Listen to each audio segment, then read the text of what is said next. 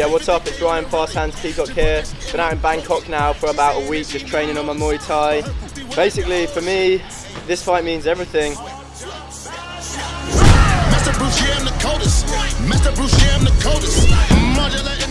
What's up? Liam Peacock. Been training for a few years now. I've had two fights, got a record of 2 0, so that's two losses, zero wins. Yeah, I'm coming for you, Ryan, so you better watch out.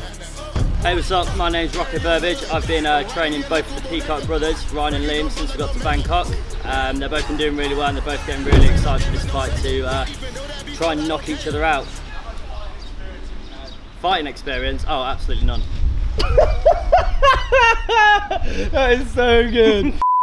Okay, alright then boys, gonna get the fight started very soon. I want a nice, clean fight, okay? The fight will begin on the mega ramp and you're both gonna hit it at the same time. The fight will then end at the kickers. We're gonna do six rounds, three rounds with the right hand and three rounds with the left hand. Uh, no biting, no spitting and no shinning.